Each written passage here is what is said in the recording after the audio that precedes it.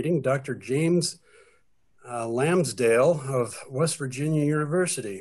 Uh, he studies Paleozoic arthropods, um, things like horseshoe crabs and their relatives. He uh, recently published on the fauna of the Ordovician Big Hill Lagerstätte in Upper Michigan. Uh, in no further ado, I would like to introduce our speaker. It's all yours, James. Hi, excellent. Thank you. Okay, I'm going to um, share this screen here. Okay, can you all see this? Yes. Excellent. Yes, Okay. I can see it. Excellent. Um, so yeah, I just thought uh, what I'd do is um, sort of tell you a bit about the work that um, we've been doing uh, at Big Hill and uh, the various critters that we've been getting out of it, um, with a particular focus on the arthropods, of course, um, and what some of these arthropods are telling us about uh, the relationships and early evolution of uh, the chelicerates, which are um, are modern arachnids um, and horseshoe crabs, but also uh, a couple of interesting uh, extinct groups. So before I get into it in full, um, I have uh, just a couple of uh, acknowledgements. Um, uh, particularly my uh, co-workers and, and co-collectors, uh, Ron Meyer uh, and Jerry Gunderson, who sadly um, passed away at the start of this year. Um, both of whom have actively been collecting the site, who discovered it, um, and have been really great for working with me in, in sort of putting this all in context and uh, sort of passing on uh, some of the, the best specimens um, for accession so that we can um, publish on them. Uh, Dr. Carrie Eaton, who is the uh, collections manager and curator at uh, um, uh, the Geological Museum in Wisconsin, who has been dealing with me, constantly requesting material and photographs. And then various co-authors who um, have worked with me on some of this material, particularly uh, Derek Briggs, Steve LaDuca, uh, Melanie Hopkins, um, and then uh, Lorenzo Prendini and Maggie Rubin, who are involved in um, one of the studies I'm going to show you, looking particularly at cuticle. So I'm sure you're all familiar with um, Lagerstätte uh, and what they are. These are exceptional sites of uh, amazing preservation that uh, really give us a good view of uh, the full breadth of what was around at particular periods of time. And of course, the most famous um, Lagerstätten are all in the Cambrian, uh, particularly uh, Burgess Shale um, and Chengjiang and uh, Sirius Passet and uh, the Weeks Formation too. Uh, but as we've got further and further um, into um, studying some of the more obscure sort of outcrops um, of the Ordovician rocks, we began to uncover more and more Ordovician Lagerstätten as well. Um, so there are quite a few from the Upper Ordovician, particularly Soom Shale in the Henanshan, um, Airport Cove and William Lake, which I'll um, talk a little bit about in a second. Uh, which I like because it's got um, some of the oldest preserved uh, Eurypterids, um, which is uh, a cool a cool locality found in uh, a basically a, a, meteorite crater that's been flooded um, in Iowa. And uh, the the fun thing about that is that all the Eurypterids are preserved as this carbonaceous cuticle. Uh, and back before they knew what it was, they thought it was plant material, so they were ashing it to try to work out how much what the carbon content was. So I don't know how many Eurypterids they burnt, but it was quite a few. Um, and then Fezouata, which is probably the most famous. Uh, in fact, Fezouata is so important from uh, a sort of Paleozoic Lagerstätte perspective that all the other Ordovician Lagerstätten tend to get pushed by the wayside. Um, uh, and then, of course, not even appearing on this uh, figure here is Big Hill, which is a relatively small um, and depauperate uh, Lagerstätten, but I think it's quite cool. Uh, and there are some really important things uh, that it shows us. Uh, now, when we look at um, Big Hill and the uh, its sort of location, there's a series of other um, upper Ordovician Lagerstätten that it really sort of um, draws comparison to. Uh, and these are the uh, Canadian uh, Katian Lagerstätten that are um, sort of arrayed from Cat Head all the way up to Airport Cove. Uh, and so this is their sort of uh, paleogeographic position, and this is where Big Hill sits. So these are all vaguely contemporaneous. They all were deposited around the same time. But uh, Airport Cove and William Lake and Cat Head all up on this side of landmass, and Big Hill is down on this side, just on the edges of the Michigan Basin. Uh, and these Canadian large Lagerstätten have had quite a bit of work done on them, um, and they show a sort of odd Ordovician fauna that you're going to see is very, very similar to what we see at Big Hill. Uh, so from William Lake, we've got a series of uh, Medusa uh, and other jellyfish type creatures, uh, and a bunch of arthropods. Um, we've got some horseshoe crabs, the currently oldest described horseshoe crabs. This weird creature, which I'll um, talk about at the very end of what I'm going to be showing you, uh, this is interpreted as a pycnogonid or sea spider. These are another group of aquatic chelicerates uh, that are really weird arthropods. They've reduced their bodies down to nothing, so they're literally just heads, um, and their guts are like pushed into their legs. They've just basically crammed everything into as small a space as possible. Uh, and so finding out what these used to look like before their weird spindly selves uh, today is, is always interesting. Uh, and these uh, creatures, which were interpreted when they were first found as eurypterids. Uh, Airport Cove uh, is fairly similar, perhaps um, slightly shallower waters. Um, we still have the horseshoe crabs. Um, we have these eurypterid and eurypterid-like creatures, but there's also lots of algae. Uh, and then cat head is uh, a bit different. It's been interpreted as being maybe um, some deeper waters.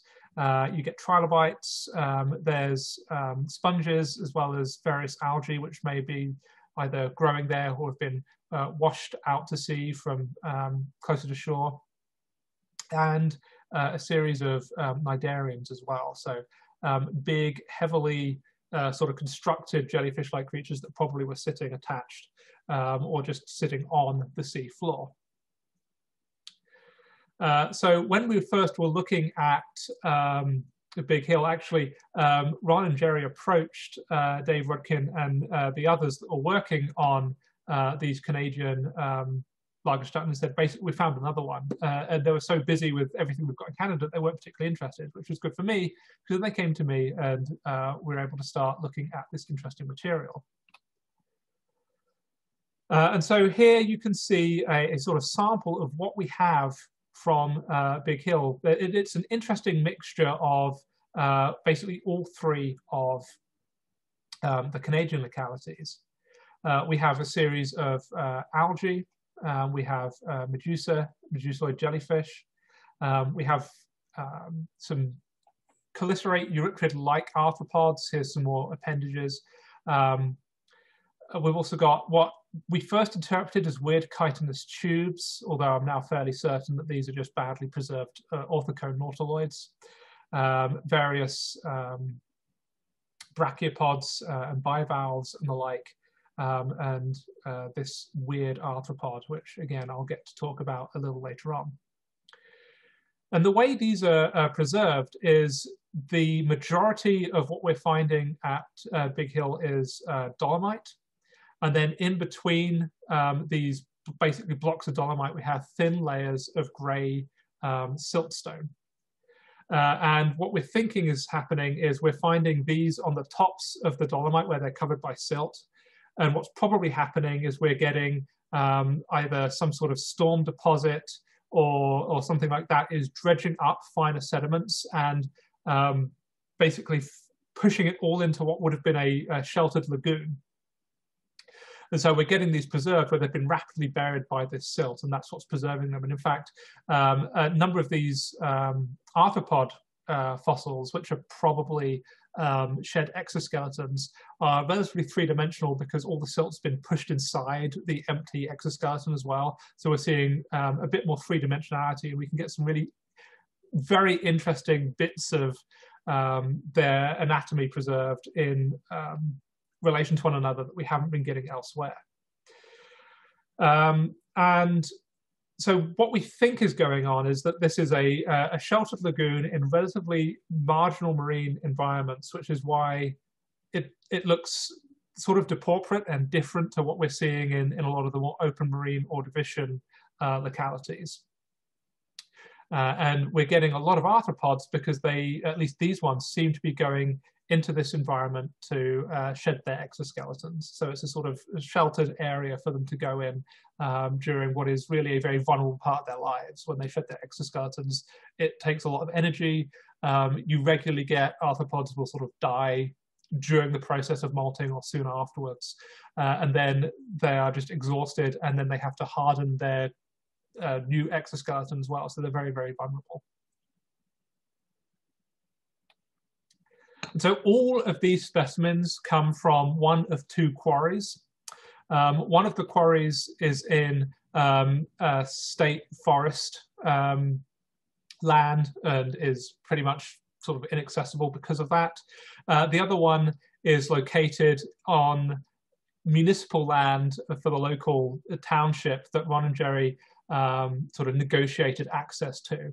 Uh, and so this is what these uh, this quarry looks like. And so here you can see just the uh, the the dolomite, and it's just in these slabs. You can kind of see in between um, these blocks, you have this very uneven surface, uh, and this is because where you've got this break in dolomitic deposition, and you've got um, this uh, fine siltstone, which is mostly weathered away here. You can sort of see bits of it falling out here.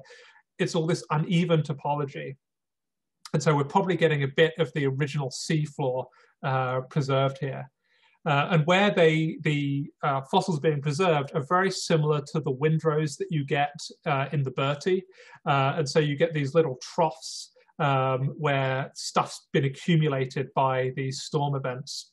Um, and then when you sort of find them, you can pop them out and you'll find lots of fossils in a sort of very limited area. Uh, and so what I'm going to do now is just go through and show some of the, the, the specimens we've got because we're getting some really amazing details um, out of these things. Uh, so we have, these are some of the um, rarer things. We actually have one trilobite from one area. We think this is uh, maybe an isotelid of some form.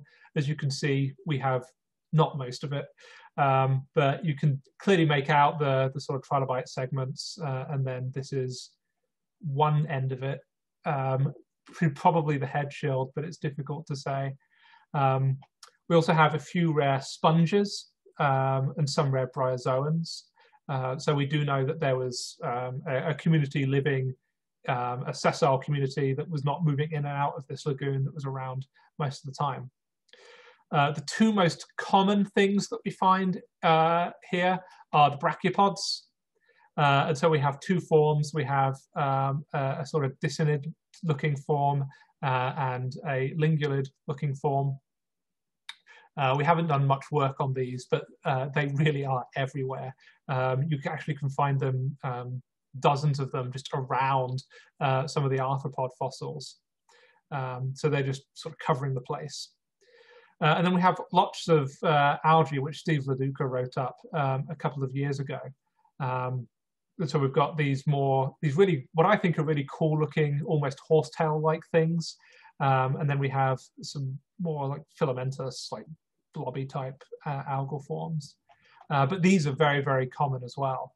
Um, and we're actually getting um, sort of vaguely carbonaceous preservation of these. So we're getting some real exceptional preservation out of this We also get uh, a variety of, of mollusks. Uh, so we have some gastropods, not commonly preserved, but occasionally we do get these uh, sort of spired or turreted forms, um, which are uh, kind of cool to find. I do get the impression that the um, shell of these things is is being um, somewhat dissolved away, um, potentially related to the dolomitic pres um, preservation. I'm not sure, but we often will get blobs that we think were probably at one point a snail or a bivalve, but there's just not much uh, being preserved. What we do get a number of are these orthocones. Uh, and these are cool because you get some organic material. You can just about see um, here some of this organic material running down the center of it. Uh, and these are probably all the same species. We suspect these are empty, empty cones that are getting um, swept in or pushed in during the storm events and then sort of accumulating within the lagoon. Uh, and so uh, this is one where you can sort of see the individual chambers. And this is one of these things that we originally called some kind of chitinous tube. Uh, that having seen this type of preservation elsewhere, I suspect this is now just a badly preserved um, nautiloid. Uh, we have the uh, sort of more of the actual shell preserved, and then what I thought at first might have been some kind of stalk, I suspect is this siphuncular chamber running down that's been been preserved. So we're getting some variation of preservation um, with these things as well. We also have um, a large number of medusoids. Uh, and I've talked to Derek about these, and he's he thinks they're all conchopeltis. And so conchopeltis is what, uh, one of these interesting uh, forms with a slightly more sclerotized um, structure within the, the bell, and it would have sat upside down and just filter fed um, on uh, the sea floor. So we have dozens of these things, and they're in various stages of decomposition as well. So some of them uh, you can get senses of the internal structures. You can see sort of these these concentric rings here, um, and some of them you can actually see just about striations of, of maybe um, whatever passes for muscle in these things. Uh, but in other forms, they're just these slightly discolored blobs. Uh, so it's it's possible that we have a mixture of ones that are alive when they're buried and others that have died and are now um, being um, uh, through various stages of decay when they've been um, buried and smothered by uh, this sediment. But the thing that I think makes Big Hill really interesting is the diversity of the arthropods um, that we have there. Uh, and so this is uh, a phylogeny showing um, each of the major uh, chelicerate groups. And so here are your arachnids at the top, um, your scorpions and Uropygids and the like. These are the eurypterids, which I have done um, quite a bit of work on. So these are quite diverse um, aquatic forms. There's about 250 species known. Um, they, they range from the Ordovician through to the end of the Permian. Uh, and then we've got our Xiphosurans down here, which are, are, not well represented on this tree, but these are our modern horseshoe crabs and their relatives. Um, and here are the pycnogonids, these weird, very reduced um, body forms with their long spindly legs, and they're not much else. Uh, and then there's a weird, a little group here, which not many people know about, called Chasmataspidids. Uh, and at Big Hill, we actually have all three of the non uh, pycnogonid uh, aquatic chelicerates represented. So we have uh, which you can see the appendage, some of the appendages of up here. Um, we have uh, some horseshoe crabs, which aren't in this figure because we found them after we published the initial paper. And then we have these things actually uh. Uh, and this is the, the one arthropod that we've got written up so far. It's because we have about 50 specimens of it. Uh, and for a chasmataspidid, it's actually incredibly bizarre. And so chasmataspidids are a group of predominantly small arthropods.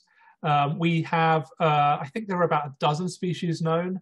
Uh, half of them were described in the last 10 years. So um, the first ones were, the first one, Chasmataspis, was described in 1954. Uh, and then for the next uh, 50 years, we only found another three or four. Uh, and then in the last 10 years or so, we've, we've doubled the number that we know.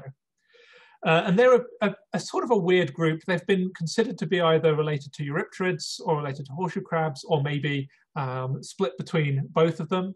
Uh, this is Chasmataspis, which is the first one uh, described. It's got what we call a buckler, so it's got a, a bunch of fused segments after the head, uh, which was considered very, very similar to the fused up body of the horseshoe crabs. Uh, but it's got uh, more body segments afterwards. So it's got um, a long sort of flexible body and then the tail spine at the end. And then these on either side are uh, members of uh, the group within Chasmataspidids that we call diploaspids. Uh, and the interesting thing about these is that they are very much smaller than Chasmataspis. So Chasmataspis can get up to be about 10 centimeters long, which isn't bad for uh, a. Most chelicerates are, are not that big. Uh, and then these are, fairly average sizes for, for diploaspids, uh, and these can get to be about two centimeters long at maximum. So we have um, this is the only, or this was the only ordovician form new, known, and it was quite large and very horseshoe crab-like. And then these are Silurian and Devonian forms, and they're very, very small and much more eurypterid-like. Uh, and based off the limbs, we knew that these ones had paddles. Uh, and then the, the, the, interesting thing is that um, Chasmataspis, as well as looking much more horseshoe crab-like in terms of its body shape, the limbs are also much more horseshoe crab-like. So the limbs are all chelate, so they end in just a pair of pincers. Uh, they're not very well known, so this is the only example that we have, and they're disarticulated, but they are found in association um, with these original specimens. Uh, and so this was considered really, really horseshoe crab-like. It's very large, uh, and so how you get from there to the Diploaspis-like ones that are much younger was a bit of a mystery. Uh, and we have about 12 specimens of, of Chasmataspis known. We have very few specimens known for the majority of other Chasmataspids. Uh, so here's uh, Diploaspis, which is from the Devonian of Germany. Uh, this picture is awful, but the material uh, is not much better in real life. It's um, this dark, sort of vaguely reflective um, cuticle that is preserved, smashed up amongst plant matter um, in these very dark uh, Devonian rocks. And so it's almost impossible to photograph. And it's also absolutely tiny. So you've got to look at it under the microscope. Uh, but people have found appendages with these things. There's, there's maybe about 20 specimens of these. Um, and the appendages look much, much more eurypterid-like. They're not chelate, they end in just sort of a normal sort of walking limb. And at the back, they have paddles. Uh, and then when we found uh, some more species, um, we found more and more characteristics that began to link these or make these look similar to the eurypterids. Um, so in 2002, um, uh, about 20 specimens of, of this uh, species, Octoberaspis, um, were described. Uh, and the thing that's interesting about this is, as well as preserving um, a number of appendages, you can kind of see up here some of them, uh, and you can see that it's reconstructed with a paddle as well. So we know that this had a paddle at the back.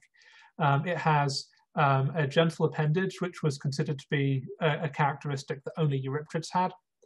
Uh, and also it's got a, a metastoma, which is a plate that sits just behind the mouth. It's used to help sort of grind up food and push it into the mouth.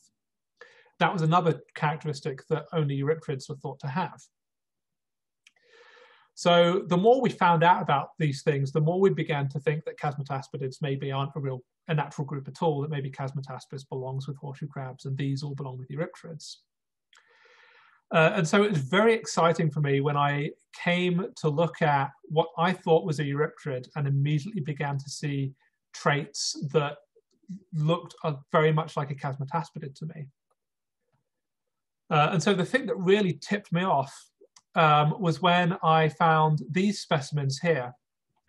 Uh, and the, as I said, Chasmataspidids have a fused up um, series of plates at the front, just behind the head. And so the first uh, there's a small uh, body segment and then another three, and these are all fused together.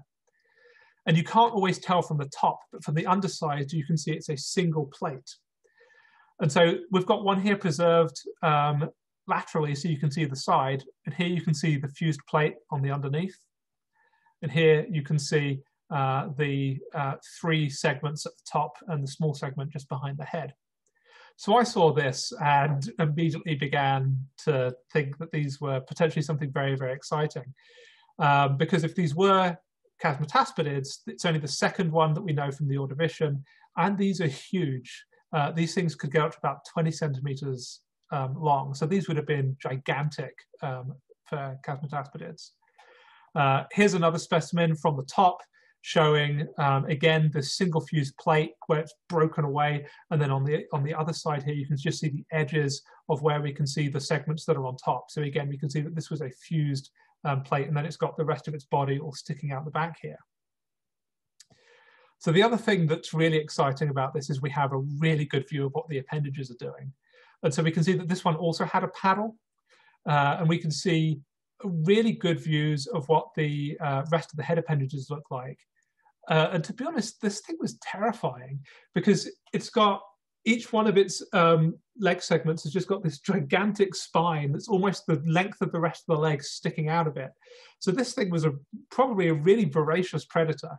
Uh, and so it, it, looks like it's doing something very, very different to what the other uh, are doing. It's a big predator. You can see it's got really big eyes and they're forward facing um, and probably had some degree of overlapping field of vision at, at a, a, bit of a way ahead of it. So it was probably lining up its shots long in advance of where, you know, when it got there.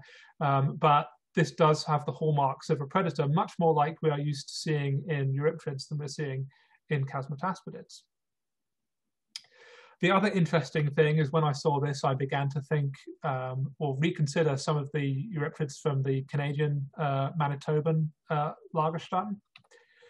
Uh, and so this is uh, one of the uh, Eurypterids from Manitoba. And when you compare it uh, to the Chasmataspidid Hoplotaspis, you can see some interesting similarities. So um, the head is pushed back here, but you can see these legs are really thick and very spiny, just like here. You can see it's got the paddle. But then you get to just behind the head and you can see three body segments and you can see this single fused up plate which is just what you can see here. So these have been misidentified, and these Manitoba specimens aren't Eurypterids at all. These are also gigantic chasmataspidids. I'm not sure if they're the same species, um, but they are probably very closely related. And given that um, these are uh, roughly uh, the same aged deposits, it would make sense. The interesting thing is that normally when we find uh, Eurypterids, like you get different species in different basins, uh, this would indicate that these things were fairly widespread in the Ordovician, which would be very unusual and, and pretty exciting in its own right. Uh, and so we have got so many specimens that we're able to really reconstruct um, this animal in a way that we haven't been able to do so for other chasmataspidids. Uh, and so we've been able to completely reconstruct uh, the appendages at the head. Um, it's got a weird structure to its paddles. It's got a, a, sort of kink in them, so they seem to project forwards and then kink backwards uh, in a way that um, actually makes sense and explains some of the things we're seeing in uh, some of the other chasmataspidids. But the other thing as well is that the uh, sort of digital sort of bit at the end, the the the podomere at the end of the leg, is sort of pushed um, forwards uh, which is very unusual and it's very unlike the Eurypterid paddles. The other thing that's missing is that Eurypterid paddles have um, a, an ancillary um, structure um, uh, that we call podomere 7a that sort of makes the paddle much wider at the back and that appears to be missing here. Uh, and when you compare this leg to the Eurypterid paddles and you align up the different leg segments, uh, you can actually homologize this to what's going on in the limbs of Chasmataspis. Uh, and so what seems to be happening is we're seeing Chasmataspidids independently develop a paddle for swimming, just like the Eurypterids do.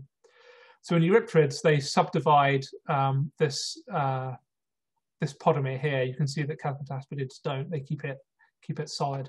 Um, but then this um, append this um, the this this podomere here widens up, and then they develop they modify a spine um, to basically uh, give them a lot more flexibility because the paddle can then move in and out of this spine, and it basically gives allows them to sort of change the um, surface area of their paddle.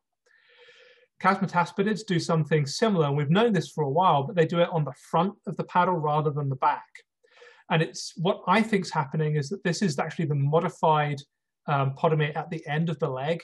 Um, and the, the paddle is actually the heavily inflated second bit of this chelate limb in Chasmataspis. So basically the fixed finger just inflates out and then the movable finger just moves up. Uh, and we can actually see it moves up and then it starts getting broader and broader. Um, and then the other thing you can see is that uh, this um, weird kink um, that these things develop um, is actually maintained in the appendage, we actually find them sticking out at slightly weird angles. Um, so this has really filled in a lot of gaps is how you get from this Chasmataspis-like form to these Silurian and Devonian diploaspid-like forms. And it really puts to rest the idea that these forms are weird eurypterids. They've, they've come about this independently. They've, they've independently developed this paddle. Uh, and so what this means is that Chasmataspidids, while being a relatively um, small uh, group, actually are very, very diverse. And so we've got a, a wide variety of morphologies, um, and they seem to be um, filling a wide variety of ecological roles, either as uh, predators or probably um, sort of semi-infaunal um, scavengers and, and shell crackers like horseshoe crabs uh, to, to maybe slightly more generalist forms. The other thing um, that the three dimensionality that I mentioned, where the fact that all of this sediment has filled in these malts and sort of kept them three dimensional, uh, has allowed us to do is to sort of dissect through some of them. So for the first time, we've gotten a good look at just what is happening on this plate behind the head. It actually extends up into the middle of the head, which is very weird. It sort of goes in between um, the back appendages and, and the top. Uh, and so this is where the paddle is, and then this is how far up this plate extends. Uh, and the other thing that's really interesting about it is that it sort of has this notch at the front, and we can see it every time we, we get it preserved and get the front preserved. And so this is actually an indication that some other things that we've found um, and have interpreted as, as sort of weird arthropods are actually Chasmataspidids, particularly um, this uh, creature here, uh, which I, I, described with my PhD advisor Paul Selden back in uh, 2013 as a horseshoe crab. This is from the Devonian of, of China. Uh, and then in 2015, we found more specimens with this gigantic plate, which at the time we interpreted as a very, very big feeding plate, a metastome. And We said, oh, this is potentially uh, an ancestral form to, to Eurypterids. But now, when you compare this to what we're finding um, in uh, Hoplitaspis, this looks very much like the same plate, and we're only seeing this from the underside. So what it looks like is that this is potentially the underside of this buckler, and this is actually another Chasmataspidid, um, and we just didn't realize. Um, and so uh, that's interesting. And so by getting a better idea of what these animals look like, we're now starting to uh, be able to reinterpret some other organisms um, and other species that we haven't really um, had a good idea of what they were before. Uh, and so that's the uh, most common arthropod, that's Hoplitaspis. Uh, we also have uh, a number of uh, Eurypterids. Um, we have at least two species. Um, we have one form that we only really have isolated appendages of. Um, it's got a very characteristic uh, ornamentation. It's got these um, lines of um, scales running up the legs. Uh, we also have uh, a tail spine, so this is the last segment, and then this is the, the telson at the back here. Again, preserved on the side at the side, which is really unusual for Eurypterids. And again, this is because all this silt is pushing into um, these shed exoskeletons. Uh, and the exciting thing about this is that it has a paddle, but it is a real, it's, it's got this gangly teen look about it. It's got this really unusually long leg attached to this paddle. And what this indicates is that this is an early offshoot of Eurypterids when they were developing the paddle. So this is something that's happening very, uh, this is something that's we've caught very early on in the paddle evolution, which would make sense because this is from the Ordovician. Uh, and so most Eurypterids, when they develop their paddles, begin to shorten up these um, segments at the top of the leg. So they sort of fuse them together and they just use them for rotation. Walking forms will move them back and forth and there's a lot more flexibility to it. Uh, and so when they're in the midst of developing the paddle, they, they broaden the end of the leg, but they keep the sort of walking portion at the top. And that's what we're seeing here. So it looks like we're finding something that's um, sort of around this stage of the paddle evolution. And so what it looks like from the leg is that we might have something uh, a bit similar to either Onychopterella, uh, which we have some Ordovician forms also known from the Silurian, particularly um, uh, of uh, Kokomo, uh, which has some truly spectacular um, fossils. Um, the, the Eurypterids from there are amazing. Uh, and these other weird early um, forms like Rudimenipterus, uh, which this is pretty much the only specimen known of it, but it has a very similar structure to its paddle. The thing that's interesting is that the limbs at the front also have very long spines. Um, and so it looks a bit more like something like Dolichopterus. The thing that's interesting is when you have spines on a leg and you're trying to capture prey, you want the spines to point towards you so that you're um, sort of grabbing something and pulling it in. These spines are pointing outwards, they're pointing the wrong way which suggests that maybe this was uh, just like raking through the sediment looking for stuff rather than actively like pulling stuff into its mouth. Um, so this is something that's probably almost certainly a new species um, and we're sort of looking for some more material, but we will be uh, hopefully describing this um, fairly shortly. The other type of Eurypterid we have uh, is uh, another predatory form, and this looks a lot more similar to uh, a group called uh, carcinosomatids, which have these really big discoidal bodies, most of them, um, and really um, heavily armed appendages. Uh, this is a really cool individual. You can see there's some um, segmentation down the side of the body here. You've got a paddle, and then you've got a single leg, which has got these great big spines on it. And we have a number of these. We've got some showing the underside as well. So this is what the underside of the, the head looks like. Uh, and then we've got some isolated legs, which are again really thick and robust. Uh, and then we've got some forms which preserve quite a lot of the original cuticle. Uh, and again, you've got a paddle here um, and the start of a head shield, but this is sort of all flaking away. Uh, however, I'm not entirely sure if these are one species or two. And so these specimens here look a lot like uh, this creature, which is called Lanarkopterus. Um, this is known from the Silurian of Scotland. Uh, and the thing that really um, reminds me about Lanarkopterus for this is not just the paddle, which looks fairly similar, although a bit different. So this would probably be a new, new genus or species that's quite closely related to Lanarkopterus. Um, but you can just about see on the body here, there, are, there is a groove running down the side it's easiest to see here, where you can just about see a ridge. Um, and that is the same as what's going on here. So this is why this looks a lot like Lanarkopterus to me. And then it's got the very long, thin um, back end of the body and then the tail spine. These forms look a bit more like uh, this creature here, which is Pentecopterus. This is from Winneshiek. Uh, and this is the oldest described Eurypterid so far. This is also uh, a carcinosomatid. Um, but this is we only know um, from fragments of cuticle because this could get quite large. The reason why this reminds me a bit of Pentecopterus is that this leg um, has an interesting um, sort of, you can see a, a, sort of weird joint here between this segment and this segment. That looks a bit like this joint to me. Uh, and this leg is also pretty robust. So th these limbs look fairly similar to me.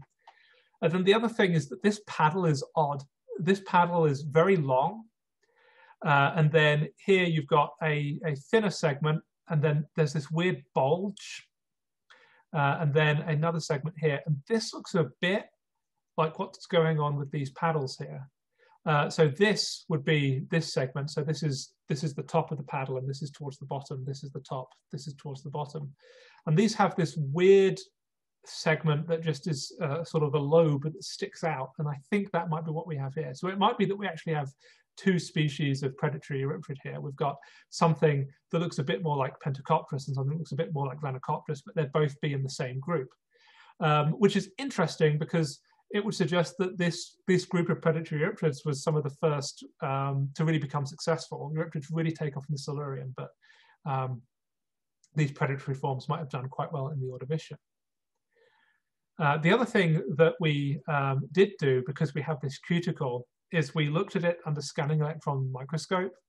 Um, because one thing that not many people know is that some arachnids um, will fluoresce underneath ultraviolet light. Anybody that owns scorpions uh, generally is, is familiar with this, and people that uh, study them certainly know this um, because scorpions like to come out at night, and it's much safer if you can see them. Uh, so uh, they'll go around with UV lights and get them to fluoresce. horseshoe crabs also do this. Um, and uh, this was something that, that was known to photographers and a number of other people, but is, was not in the scientific literature. So we wanted to document that uh, and see um, if they're fluorescing the same way. And so what we did was we um, took sections of cuticle from um, modern forms. These are scorpions up here. This is a horseshoe crab. Um, and all of the uh, horseshoe crabs and scorpions that fluoresce have a what we call a hyaline layer, which is a thin glassy layer underneath the top of the cuticle that seems to be storing um, fluorescing compounds from the, the, the, blood of the animal. Uh, and the other arachnids that don't fluoresce don't have this. Um, they're missing this sort of HX layer. So we um, first of all tried to see if we could get any of these eurypterids to fluoresce, and we couldn't, um, which isn't surprising if they're taking compounds up from the blood. That would probably sort of degrade over time, and the fossilization process would probably completely obliterate whatever those compounds were. But we did look at the cuticle, and it's real badly compressed, um, but you can just about see um, a very, very faint dividing line here, which might be the, the joint between the epicuticle at the top and then this hyaline layer. So we interpret this as suggesting that eurypterids would have actually fluoresced if there was an ultraviolet light source strong enough, which there probably wouldn't have been. But they have this same structure that scorpions and horseshoe crabs have, which is interesting. And it's only because of the style of preservation at Big Hill that we've been able to tell this. Um, and so the other um, uh, we have is a horseshoe crab. And I did not believe this is a horseshoe crab for the longest time. Um, I only saw pictures of it and I kept saying, you sure it's not a stylophoran? Are you sure it's not some kind of echinoid, uh, some kind of echinoderm? Uh, and then I saw the specimens and I was like, oh no, it is a horseshoe crab. Um, here's the body. This is the, the sh ridiculously shaped head. Um, this is unusually um, long. Um, you've got the eyes here.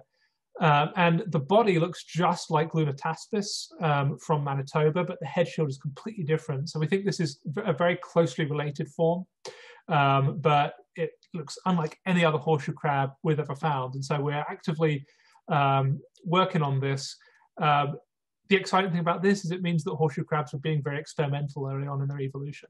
Um, and then have sort of canalized into the, the body form that we're used to uh, today. Um, so we only have two specimens of this. It's really rare, um, but this might actually be um, one of the more exciting uh, finds out of Big Hill. Uh, and so the last thing that I, I wanted to mention um, is this creature that I showed you very early on, this what we call a diplotergite arthropod. Um, this has got multiple segments, uh, and the reason we say it's diplotergite is because we've got the middle broken away, uh, and on the edge here, you can see this is one segment, one body segment, but in the middle it's two. Uh, and this is something that you see in millipedes and centipedes, where there'll be two pairs of legs per body segment. And this is because um, on the, the, the top side, these two segments have merged together. And that seems to be what's happening here. Now, there are a number of Cambrian arthropods that do this as well, so we're not entirely sure um, what this could be. We're missing the head, which is very frustrating. But it does look very similar to Palaeomarachne, which is this creature that was described from Manitoba as a pycnogonid or sea spider. Uh, and the interpretation of this was that you've got this head region up here, and this is where the uh, appendages would have, uh, the, the claws and the head would have fit in. And then this is the body, and then these are the bases of legs. Uh, and so they have this specimen here and they say, this is the part that we have preserved and this is uh, to make it or fit into looking like a pycnogonid. The trouble is these are broken. And so this angle that these are coming off at is not natural. Um, these are what we call articulating facets, which means that they are for segments to overlap and articulate with one another, which pycnogonids don't do because they're basically just um, a, a, sock puppet that just has wrinkles in it. Um, and then there's a lot more of it back here, which is kind of ignored. Uh, and so I strongly suspect that this, that Palaeomarachne is the same thing as whatever this is. Um, and so it, um, I'd be interested to get to look at the material of this to compare with this so we can try to work out exactly what these things are. Uh, so that sort of covers the basis of all four of the aquatic chelicerate groups. We've got a horseshoe crab, we have a chasmataspidid, we've got several eurypterids, and we don't have a pycnogonid, um, which has been interpreted as such um, from the Canadian um, Lagerstätte. So yeah, just to, to conclude, um, Big Hill preserves this really odd lagoonal marine habitat, but it's really interesting to see these more shallow marine environments preserved from this time period. And it really is very, very similar to the localities we have in Manitoba, um, to the extent where uh, we can start to uh, directly compare between the two um, and uh, refine some of our interpretations uh, based off that. Um, the number of chelicerates for a single locality is astounding. It's very diverse. It's very rare that we're going to get chasmataspidids and eurypterids and horseshoe crabs all together. In fact, this might be the only locality where we find all three uh, together. Um, and as you can probably tell, there's a lot more work to be done. Um, so uh, we've got uh, more publications uh, forthcoming. Um, so stay tuned for us finally getting around to describing the various eurypterids uh, and the horseshoe crab. Uh, so yeah, that's that. If anyone's got any questions, I'm happy to to talk more. Uh, yes. Um, the what is it? The Big Hill Formation. Mm-hmm. Is that at the top of the Katian of uh, of Michigan? Yes. Yeah. It's there's literally just above it. There's an unconformity, and then you've got Silurian sediments. Is there any Hirnantian uh, above that, or? that seems to have been weathered away as far as okay. at least at least um, on the penin uh, where it is here. There might be uh, Hirnantian elsewhere, but we haven't found it. Okay. And last thing, I'm not sure that all of the nautiloids are the same. That's I saw you shaking your head. That's very fair. Um, Sorry. no, no, no. This is fine. Uh, nautiloids are not my uh, my my specialty. I'll go back to them for a second. Actually, okay. um, uh, and there have been um, some nautiloids have been described from other sediments within the formation, and they've all been placed within one species that is a known wastebasket taxon. Yeah. Um, Actually, two of them look more. I hate to say it, but two of them look more Silurian mm-hmm. than Ordovician. The the uh, uh, the the one that has the striations on the the plate that has double uh, looks like Kionoceras, and the one that has the annulations looks like Dawsonoceras. Mm-hmm. Now, there are Ordovician taxa that are very similar, uh, and there is Kionoceras in the Ordovician too. But um, so you could have Gorbyoceras here, you could have Proteoceras, which is probably what uh, the second one on the double plate is. Um, and um, oh, what else is there? Um, oh, Monomuchites. Mm-hmm. The one with the annulations could be a muted Monomuchites or an Anaspyroceras. Okay, okay. This is very interesting. I, have been shopping pictures around to various um, uh, cephalopod workers and no one nobody's interested in, in, in working on it. It's very it's a little bit frustrating actually i think because it's it's just an occurrence as far as a lot of them are concerned so. Well bob Bob Frey at uh, well he's he's working uh, for the ohio department of health. Bob Frey might be able to help a bit more. He's more used to the uh, upper uh, ordovician nautiloids than i am we've been, we've been working on on a paper on the the uh, Platteville stuff, but uh, he mm-hmm. might be able to, you know, again, that's not the focus of your of your work. And um, yeah, these the the straight nautiloids are the least well done of any of them. It's just really frustrating. But mm-hmm. anyway, that's it. No, this that's really useful. Thank you.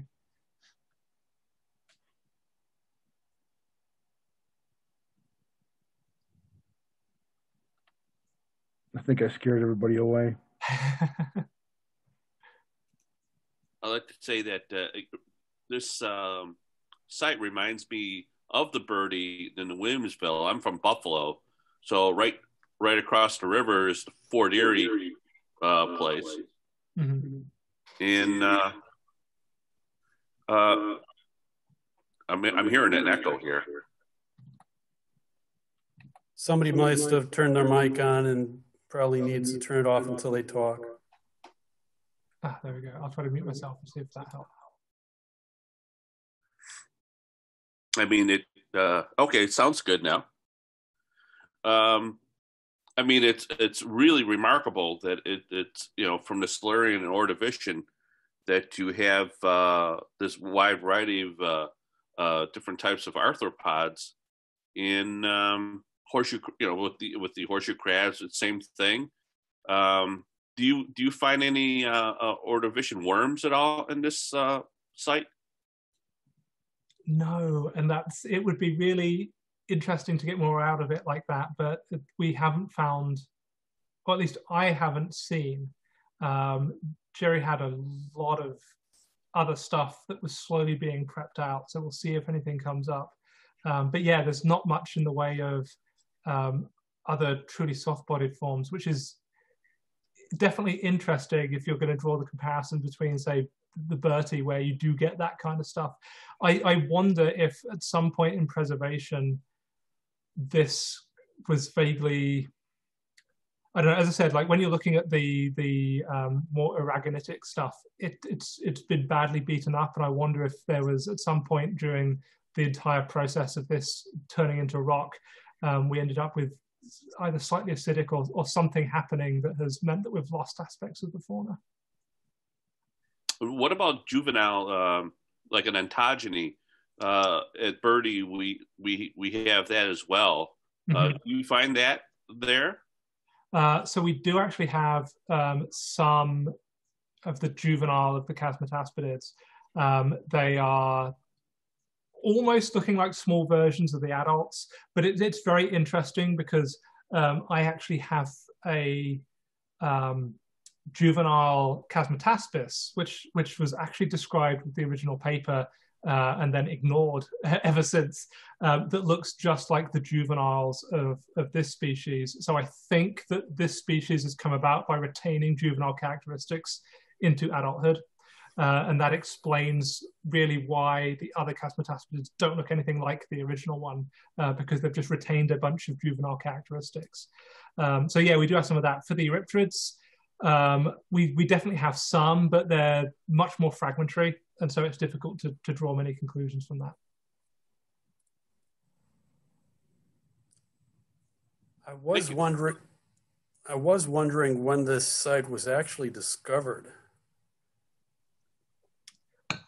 That is a good question. Um, so I know Ron and Jerry had access to it. What would have been around about 2013 at least.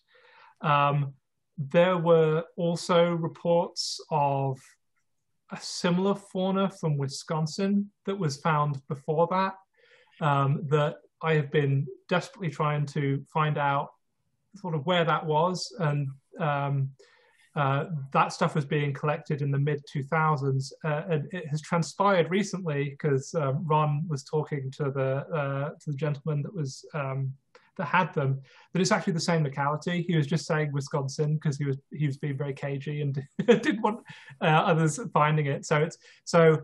Um, various people have known about this from I think the early 2000s. Um, but uh, Ron and Jerry started working with me, working with me on it in uh, about 2015. It's still very young. We have no evidence yet of other sites similar to that towards the East Coast. Not that I'm aware of. I think it would be very interesting, especially because this is so similar to what we're finding up in Canada. Like, there's there's got to be just a band of it. I, I think that just would originally have stretched across most of this this half of the continent.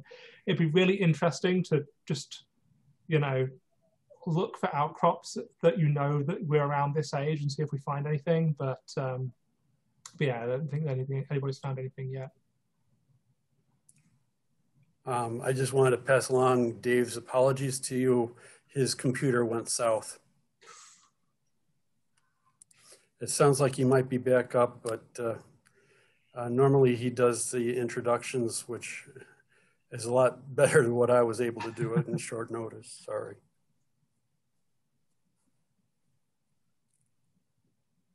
Do you find salt hoppers in this locality?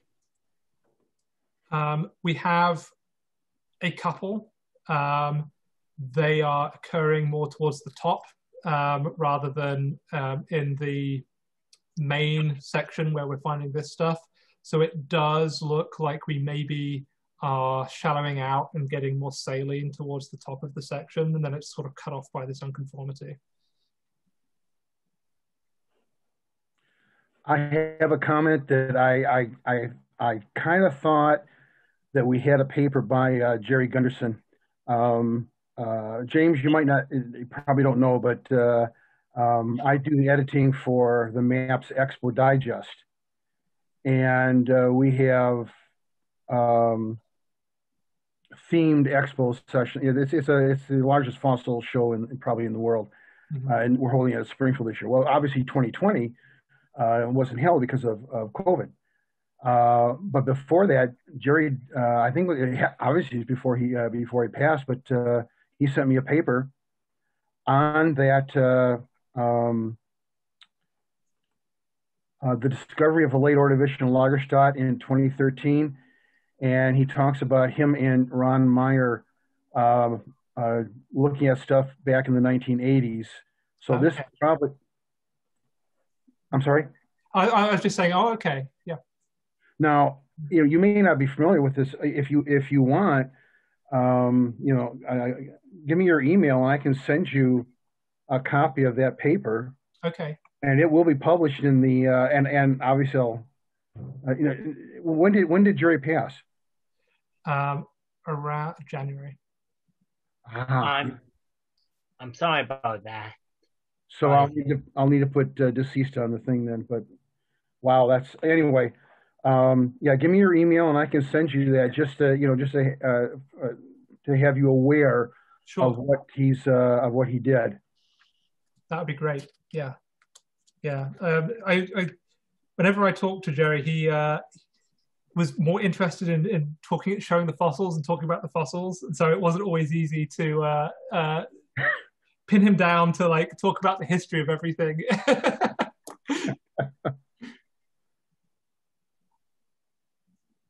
we uh, go back to the uh, brachiopod. Can yeah. we look at the brachiopod? Right. Yeah. So uh, the one in the upper left-hand corner there, I've seen that pattern before. And before, I've always just assumed it was like that little segment from a uh, like a trilobite, that part on the very top of it there. And uh, uh-huh. so now I find out it's a brachiopod. That's that's very interesting. What what view of a brachiopod is that? Is that like a, a, a cross section, or is that like an open brachiopod? We're looking at the inside.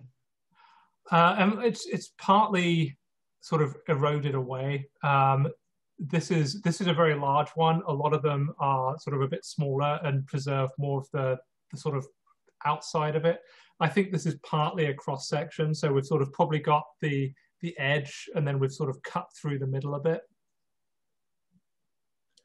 Uh, this this might be well, if if it's a lingulid, that shouldn't be a pedicle. But, uh, yeah, there's obviously bits of it that are sort of come off that are on one side um, and not the other. Uh-huh. Yeah, you showed at least two of them that are like that. Yeah, there's um yeah, this is the same specimen in different lighting, and then this is a oh. close up of the other um, what we what we interpret as other form as, as a different form, um, but this is so much larger that potentially could be the same thing if it changes as it grows. But okay, thank you.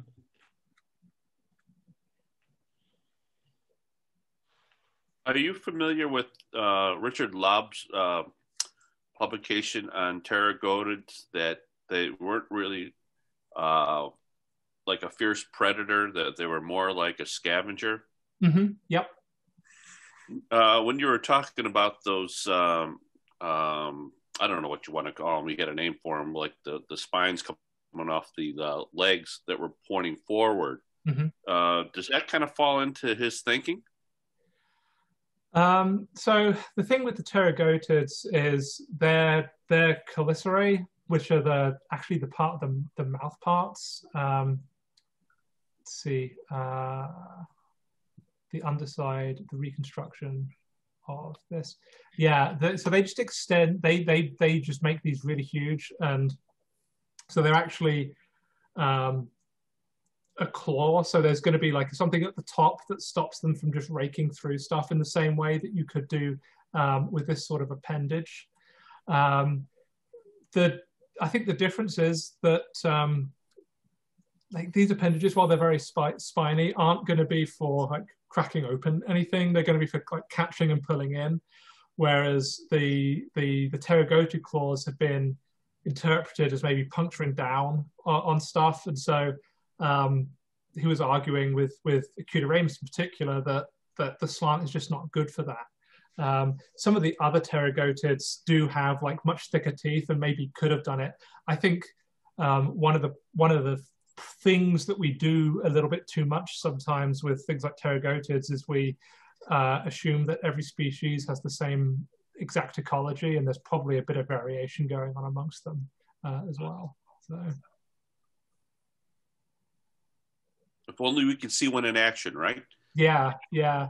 It'd be it'd be very interesting. You can do a thing called uh, a method called finite element analysis, which is basically just building a digital model and um, modeling um, various stresses and strains based off the properties of what the material would have been. I think it'd be fascinating to do that with um, Pterygotus claws and see exactly what it could or could not do. What do you think the um, purpose of of the uh, uh, I don't know what you would call it at the very end of this animal that we're looking at right here? Uh, was it basically uh, to help it flip back on its uh, uh, like if it, if it was flipped? Do you think that they used it like a horseshoe crab would to be to flip it back itself upright again? Yeah, I'm to be honest, I'm not entirely sure. Um, Roy Plotnick um, looked at the like the, the back end of pterygotids and sort of suggested that they um, acted as a rudder um, and the long body probably also would have generated some sort of lift. Um, there were there was musculature uh, in this. In fact, this was probably mostly just gut and muscle, um, and so there might have been a bit of upwards and downwards motion it could have done. Um, but yeah, it, it's it's not entirely clear exactly uh, what they'd have been doing, but yeah, probably helping right itself, keep it stable, especially if it's swimming.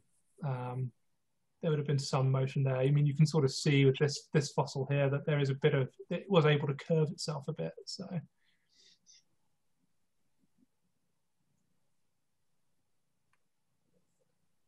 Thank you. Any more questions? Is a horse? Well, go ahead, Keith. I was just asking if there were more questions. Oh yeah. Uh, is a horseshoe crab? Is that actually not a crab? Is is it like uh, I mean, is, is horseshoe crab, is the crab part more of a nickname? Yeah, yeah. Um, so um, there was actually, back in the 1900s, um, they, we even thought that, uh, we thought eurypterids were crustaceans as well. Um, and then uh, Ray Lankester wrote, basically dissected a horseshoe crab and basically said, oh, it's, it's um, the arterial system and the heart and everything like that is basically like that of a scorpion. Um, and so um, that realization and, and realizing that uh, the, the, horseshoe crabs are more closely related to arachnids um, is, was sort of set us down the path of, of our modern understanding of, of arthropod relationships um, and explains a lot of things with with eurypterids as well because previously people were trying to figure out where the antennae were but of course there weren't any because they're not they're not crustaceans um, so yeah, the, the horseshoe crabs are it's just a uh, an accident. It's, it's, an unfortunate name that stuck because we now know better. But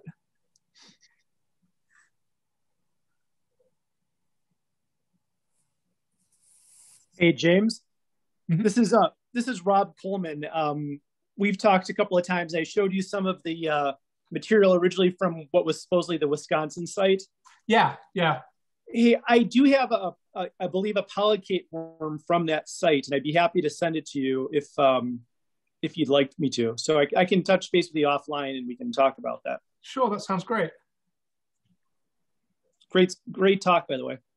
Yeah, no, good to good to hear from you. Yep. Take care. You too.